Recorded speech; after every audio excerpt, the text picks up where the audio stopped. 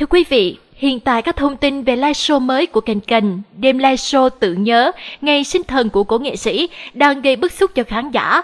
Vì một lần nữa, cái bọn dơ bẩn này lại tiếp tục dùng tên tuổi, hình ảnh và danh tiếng của cố nghệ sĩ để kiếm tiền. Người đứng ra cung cấp âm thanh ánh sáng cho bọn này thì cũng chẳng ai khác, chính là vị giám đốc sân khấu, kim quán bar mini thái giám bà bà. Lần hợp tác thứ hai của Sèo Bành Quý Phi và Thái giám bà bà sẽ hứa hẹn mang đến gấp đôi sự kịch cỡm. Lần thứ nhất là diễn chui, thì lần thứ hai chắc cũng là diễn chui cho mà xem. Và hiện tại là show tự nhớ sinh thần của bà Bảy Xéo Bành chưa diễn ra thì đã có nguy cơ cấm diễn, bởi khán giả đã có những hành động mạnh tay dành cho live show này. Thưa quý vị, thím bảy xéo bành truyền nhân của một bà chủ gánh hát thời cải lương đang phát triển, tính ra thì bà ta cũng là một sao nổi ngôi. Nếu nghề giáo có cha làm thầy con đốt sách thì bản tin Việt xin phép đặt một câu liên quan đến nghề làm bầu. Mẹ làm bầu còn đốt gánh. Bà bảy sáu bà này không hiểu làm nghề như thế nào mà không thể duy trì được nghề nghiệp của gia đình. Rồi đến nay, lúc cố nghệ sĩ còn sống, sao không thấy bà ta khởi động cái gánh hát ấy, mà mãi cho đến khi cố nghệ sĩ qua đời, lợi dụng sự ồn ào, bà Bảy Sao Bành đã mạnh dạn đào mồ, sống dậy gánh hát của gia đình bà ta. Nhưng tiếc thay, cái sự sống dậy này nó vô cùng mất dạy. Bản thân bà ta là một người con dâu không chính danh, không được cố nghệ sĩ nhận mặt làm em dâu. Vậy mà khi ông mất, bà ta lại rất hiên ngang, sử dụng tên tuổi của anh chồng để bán vé kiếm tiền. Lúc cố nghệ sĩ còn sống, ông bảy báo là cái cần câu cơm, thiếu tiền thì qua nhà của anh trai để xin, cố nghệ sĩ không cho thì đi mượn nợ, bể nợ thì có cố nghệ sĩ lo. Với lại thời điểm đó, bộ mặt thật của hai con báo này chưa bị lột xuống, nên vẫn còn cơ hội để kiếm vào đồng bạc lẻ. Rồi từ khi bể chuyện, cái lối sống chó, sống ngang ngược mất dạy, bị bại lộ. Lộ cái nết sống dơ, sống bẩn mất vệ sinh, nên cái quán bánh xèo đã phải dẹp trong âm thầm.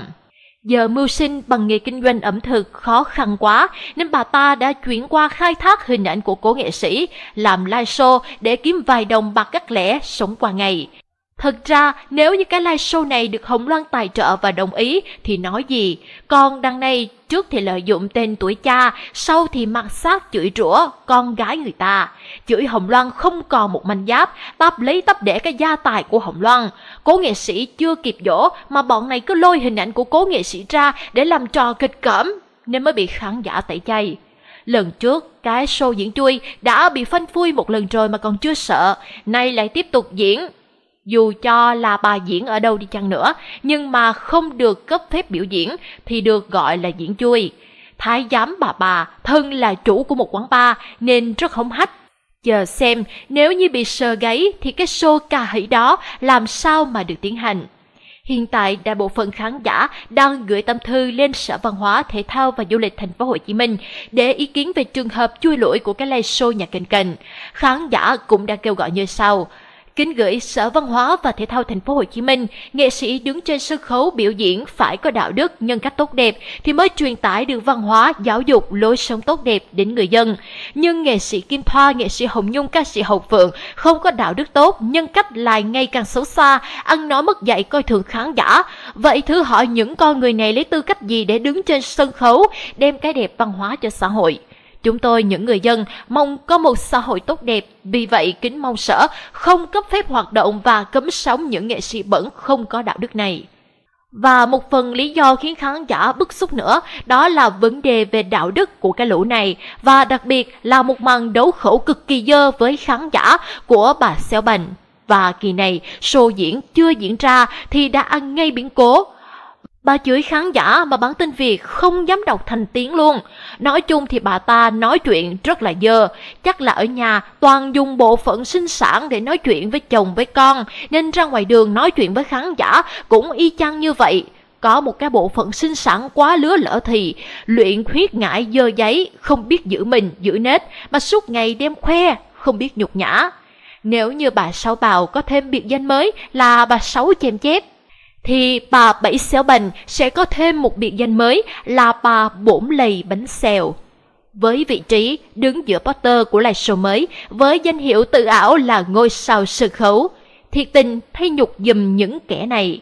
ông Bảy Báo, bà Sáu Chèm Chép và bà Bổn Lầy Bánh Xèo.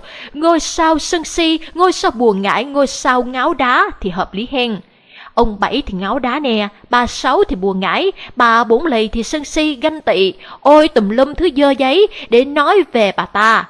Còn cái thế hệ tồi tệ nối ngôi, Phượng Ve, Lulu Cao và Tiểu Hàng Sẻn Ôi là trời, thảm họa sân khấu quý vị ơi!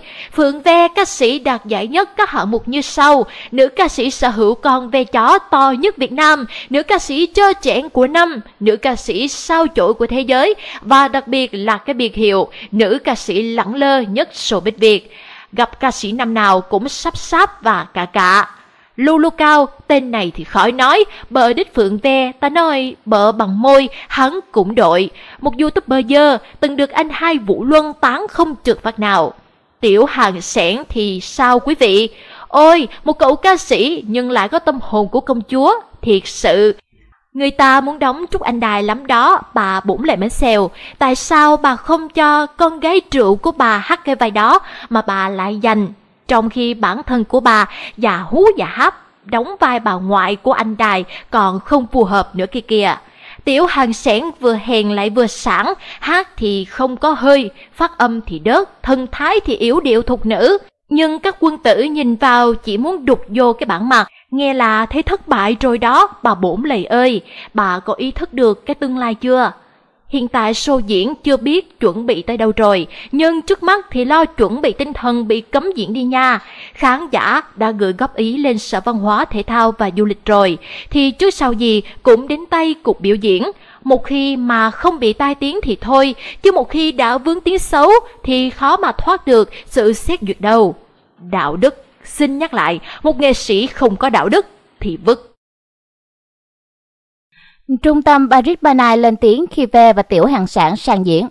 Thưa quý vị, từ cổ chí kim từ cha sanh mẹ đẻ cho tới nay mới thấy có một gia đình mang tiếng, từng mang danh là nghệ sĩ mà đi đến đâu là khán giả và người dân ghét bỏ, đi đến đâu là người dân chửi đến đó, đi đến nhà hàng thì nhà hàng đổ nát, còn đi đến nhà hát thì nhà hát tiêu tàn.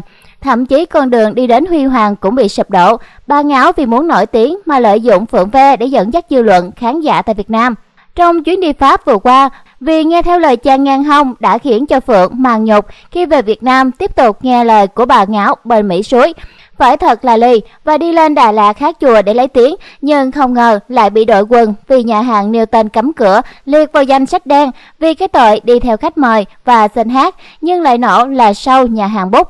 Mới đây bà Tiên lại có một lời hứa ảo quyền mông lung với Hồng Phê và đứa con riêng của bà Khọt Sèo, hứa sẽ đưa hai người này sang hát tại trung tâm Thúy Nga, Paris Banai vào năm sau. Thưa quý vị, trung tâm âm nhạc Thúy Nga Paris Banai là một sân khấu mà hầu như rất nhiều ca sĩ, nghệ sĩ lẫn các diễn viên hài đều ao ước một lần được trình diễn ở đấy. Có thể gọi đây là thiên đường âm nhạc, là sự đầu tư phải gọi là đỉnh. Nhưng có lẽ không chỉ chúng tôi mà chắc rất nhiều khán giả thường xuyên theo dõi nhạc hải ngoại đều biết, trung tâm Thúy Nga đâu có thiếu ca sĩ lẫn nghệ sĩ hạng A, không biết là tiên ăn hầu sống quá liều hay hết kèo nhiễu quá lửa nên ảo tưởng.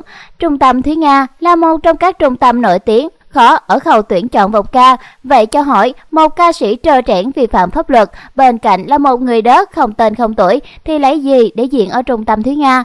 Nếu mà Hồng Ve nhờ tiên ngáo bỏ tiền đi cửa sau, thì chưa chắc gì trung tâm Thúy Nga đã nhận. Chiều tối qua, cộng đồng mạng lại phải chấn động và ngất ngư với một thông tin siêu lũ, lũ còn hơn cháo lũ của mạnh bà. Thưa quý vị, tiên áo hùng hậu tuyên bố sẽ phò tá hai đứa cháu của người tình không thể cưới trong mơ của bà ta. Một đứa là cháu gái ruột khác họ, nhưng sống thì thua cả người dân. Còn một đứa là cháu, nhưng không phải họ hàng hay máu mủ gì. Kiểu như là cháu của ông chủ vì theo gì đó, vậy đó. Vì ước mơ mong rằng được trở thành mở năm của Phượng Ve, Tiền Áo đã khá cố gắng phò tá nâng bước cho Phượng lên tận mây xanh. Kẹp chung thì có người tiểu hiện sản, chỉ cần gọi tiền ngựa một tiếng, thiểm năm thì sẽ tận tụy lo cho luôn sân khấu Thúy Nga Paris Banai sẽ chào đón Phượng Ve và Tiểu hàng Sản vô cùng chấn động và gây lũ đúng không quý vị? Cụ thể bà Tiên đã nói như sau. Paris Banai 137 gặp nhau hỏi thăm vài câu, hỏi em có đi hát, show ở đâu không? Em trả lời, Thúy Nga nè, bê trên ga gần mà. T đi coi nha, em lấy vé cho, T muốn mấy vé. Chương trình hay lắm, kỷ niệm 40 năm. T phải đi coi đấy nha, hay lắm. Cô ca sĩ này là con cưng và cũng là một giọng ca bolero nổi tiếng của trung tâm Thúy Nga.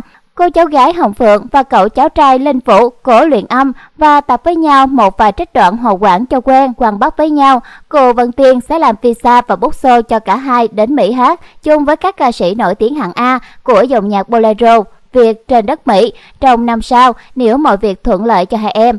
Cô Tiên đang vẫn lắng nghe giọng ca và nhìn lối trình diễn của hai đứa cháu nhà anh Phủ Linh để viết tặng riêng cho hai đứa cháu này một trích đoạn hồ quảng mới, cổ lên nha.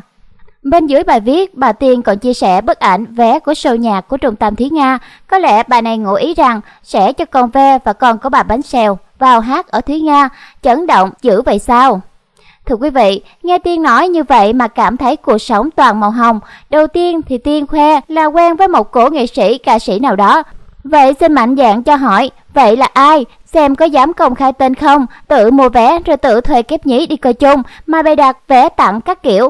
Nghe là biết có sự giả trân, Tiếp theo là tự hào làm visa, nói nghe, hiện tại bà có đủ quyền năng để bảo lãnh không? Bà làm mở năm ngàn hông, thiểm nằm ngàn mắt hay gì? Nói về visa, trung tâm Thúy Nga là một trung tâm lớn mà còn khó khăn trong việc xin visa biểu diễn cho bà con gái nuôi của Phi Nhung. Trước đây, điều kiện, tiếng tam và uy tín của trung tâm Thúy Nga cỡ nào mà còn chưa làm được Bà Tiên chắc chắn có cái uy tín bự tổ chản, ở đó mà hùa chém với bọn kênh kênh. Nói về việc chọn ca sĩ vào trung tâm Thúy Nga trình diễn thì chắc hẳn khá nhiều khán giả cũng đã biết đến cổ nghệ sĩ Phi Nhung, một danh ca, nhưng để vào được trung tâm Thúy Nga thì cố ca sĩ Phi Nhung phải mất rất nhiều công sức và phải liên tục gửi giọng hát của mình để các tin mới có thể thuyết phục được trung tâm Thúy Nga chọn và hát, mà trình độ nghề nghiệp của cố nghệ sĩ Phi Nhung đâu phải dạng vừa. Nhìn lại Phượng và Tiểu Hàng Sản thì có cái gì mà đòi hát ở trung tâm Thúy Nga. Phượng thì đạo đức nhân cách tiếng tâm hầu như là con số âm, ăn chặn tiền phúng điếu, chưa chịu sao kê, công khai hỗ trợ mẹ mình tranh giành tài sản của cậu mình với con gái ruột của cậu. Chuyện vô lý này mà cũng làm được thì tư chỉ có vứt thùng rác. Ở kẻ nhà hai năm rồi đòi đồng sở hữu, mời Phượng Ve về hát thì chắc hát hai bài, nó đòi đồng sở hữu luôn cái sân khấu thì thấy bà trung tâm. Giọng hát của Ve thì khỏi nói, hơi hám không có, giọng yếu, hát thì rướng, nghe giọng hát thì ít, mà thở thì nhiều. Đừng có nói, lại lấy cái danh cháu gái của cổ nghệ sĩ, giải ba sao nói ngôi, rồi đi qua trung tâm Thúy Nga hát. Trời ơi, bớt lại đi, đội quần ở Việt Nam thôi, bữa qua Pháp cũng đợi rồi, giờ lại muốn qua Mỹ đợi tiếp hay gì, đợi riết kiền hay sao?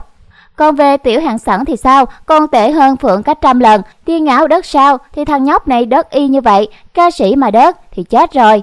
Giai điệu miệt vườn gì đó, một cuộc thi mà tuyển mà thí sinh không cao, tiểu hạng sản còn rớt lên rớt xuống, thì năng lực đâu để vô trùng thầm thứ Nga, đó là chưa nói tới tiểu hạng sản, thân hình có chút đàn ông, nhưng tính cách thì quá nữ tính, mình nữ tính thì mắc chi, mình gồng chi, xã hội bây giờ thoáng lắm rồi, giờ tiểu hạng sản có giả gái để sống thật cũng không ai nói gì đâu, người ta chỉ nói khi em gái mở miệng hát thôi, hát như kẹo mạch chảy, ca nhựa cà nhựa, nhìn công công không thẳng, Hãy làm đào lẳng lơ như ve thì sẽ thành công hơn, đó là còn chưa xét về ngoại hình và gương mặt.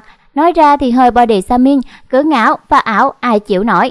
Tiên Ngạo coi mà rút lại suy nghĩ đi nha, hát ở các sân khấu nhỏ, còn chưa thể hát, chứ ở đó hát ở trung tâm Thúy Nga, coi mà bỏ tiền thêm mấy cái sảnh nhà hàng hát với nhau như hôm bữa cho nó hát, chứ trung tâm nào chứa. Với lại, nếu như có ý định bỏ tiền ra để mua một tiết mục hát trong trung tâm Thúy Nga thì cũng nên từ bỏ, bởi trung tâm Thúy Nga cũng đã phải trải qua rất nhiều biến cố lắm rồi, Người ta không có thể nào vì tiền mà chấp nhận từ bỏ tương lai của một đứa sao chổi về đâu. Người ta làm vì nghệ thuật, vì trách nhiệm và đẹp cho đời.